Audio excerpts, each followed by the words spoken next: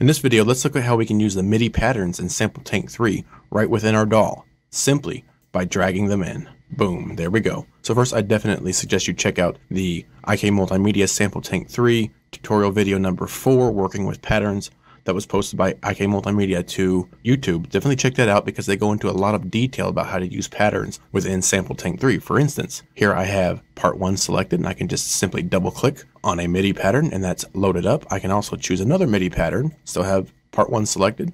You can see now I have two MIDI patterns right within this one area. I can add another one if I want. There we go. Now I have three MIDI patterns all in this one slot. I can also, of course, take my MIDI pattern and drop it on any key. So then I can press a key on my MIDI controller or click it. And that will play. And of course we can add more however we want. Pretty cool. And also covered in that video is the intensity slider. Of course we can adjust the key we're playing in and the quantization all within Sample Tank 3. But we can also use MIDI patterns directly within our DAW. Now I'm on Pro Tools, so this may be slightly different in some DAWs. I can't say for certain because I don't have any other DAW. I only use Pro Tools, so I'll just say this is for Pro Tools. So if I want to use a MIDI pattern directly within my DAW, let me first get rid of those that are loaded. I'll just simply grab it and drop it right there in my DAW. I just grabbed it right here from this pattern area, dropped it right in my DAW. We can see here it's exactly four bars.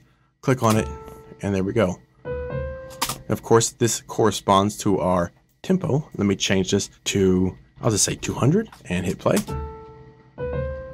So now it's going faster, obviously. I'll put that back on 120. Now, one thing that you need to be aware of that I have found is if you drag a MIDI pattern from our MIDI pane here, which you'll probably be doing most of the time, you see, drag it in, we can see this is exactly four bars. But if I were to load up this pattern up here into Sample Tank 3 in the patterns area and then drag it from here, you're going to notice a little bit of a difference.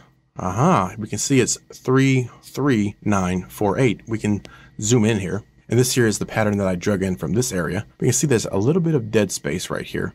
Now if we go over to the other pattern at the very end, you can see that dead space has been cut off. Now that can cause a problem if you are dragging in MIDI patterns. Let me just show you real quick. Say I have, let me load up another one here. Say I drag in this pattern.